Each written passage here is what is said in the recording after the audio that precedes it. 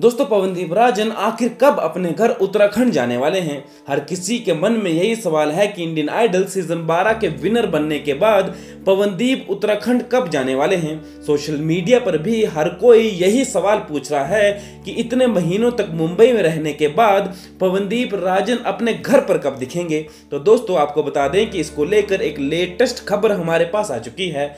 हमारे पास वो तारीख आ चुकी है जब पवनदीप राजन अपने घर के लिए रवाना होंगे। होंगे क्या है पूरी खबर। चलिए आपको बताते हैं, लेकिन इससे पहले चैनल पर अगर आप पहली बार आए हैं तो सबसे पहले जल्दी से हमारे चैनल ट्रू बॉलीवुड को सब्सक्राइब करें और साथ में घंटी के निशान को ज़रूर दबा दें।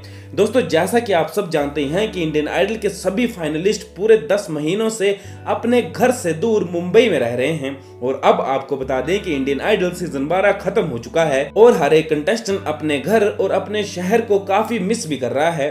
तो दोस्तों, आपको बता दें कि निहाल टोरो अरुणिता कांजीलाल, शनमुख प्रिया और सभी कंटेस्टेंट अपने अपने घर के लिए निकल चुके हैं। और बात करें अगर पवनदीप राजन की तो वो कल यानी रक्षाबंधन के दिन अपने घर जाने वाले हैं। क्योंकि खबरों की माने तो उन्होंने अपनी बहन से वादा किया है कि वो रक्षाबंधन के दिन अपनी बहन से राखी बंधवाने के लिए अपने घर ज़रूर जाएँगे। और पवनदीप राजन अपनी बहन से किया हुआ वादा बहुत जल्द पूरा करने जा रहे हैं। दोस्तों, आप इसके बारे में क्या कहना चाहते हैं, हमें कमेंट बॉक्स में ज़रूर लिखें। हमने कम्युनिटी टैब में भी एक पोस्ट डाला है, जहाँ पर आप अपनी राय ज़रूर दें।